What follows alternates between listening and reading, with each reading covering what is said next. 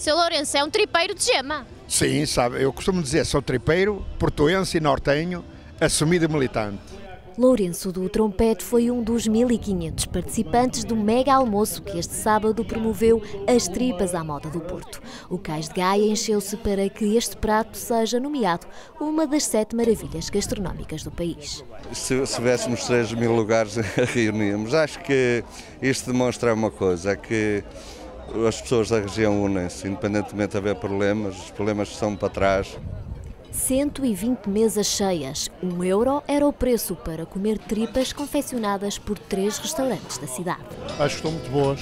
Experimentei agora aqui desta primeira fila. Segundo dizem é a melhor casa, não sei se é. Depois vou experimentar as outras filas a seguir. Muito boas mesmo. É um fã de tripas à moda do Porto. Sou, sou, gosto muito. Está muito bom.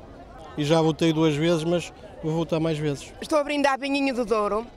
Isto Tripinhas boas. combinado com o prato de tripas tem tudo a ver, não é? Esta paisagem. É muito bonito, é muito bonito. Estou a gostar muito pela primeira vez, estou a gostar muito, muito, muito, muito. Estou a apelar eh, ao voto eh, para as tripas. Começo por apelar eh, para fazerem por, pela internet, pelo site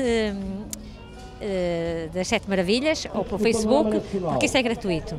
760 302 715 é o número para se ligar para que as tripas possam ser uma das sete maravilhas gastronómicas do país. Até 7 de setembro, a organização conta ter mais de 300 mil votos. E no ar ficou um desafio.